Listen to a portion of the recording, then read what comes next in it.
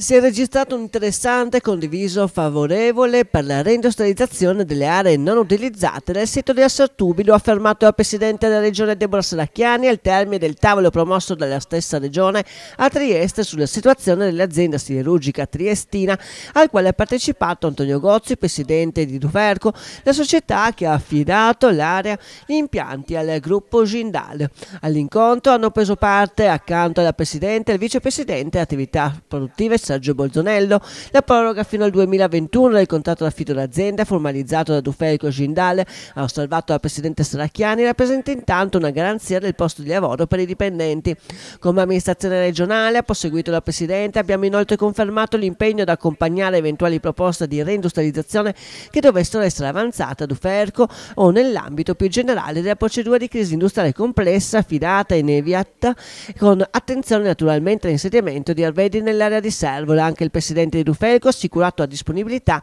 a prendere in considerazione eventuali proposte di insediamenti. Non ci tiriamo indietro, ha detto secondo Gozzi, che anche il presidente di Federacciai la decisione di Gindale di progettare l'affitto, di prorogare l'affitto, così come l'interesse per rilevare l'acciaieria di Piombino.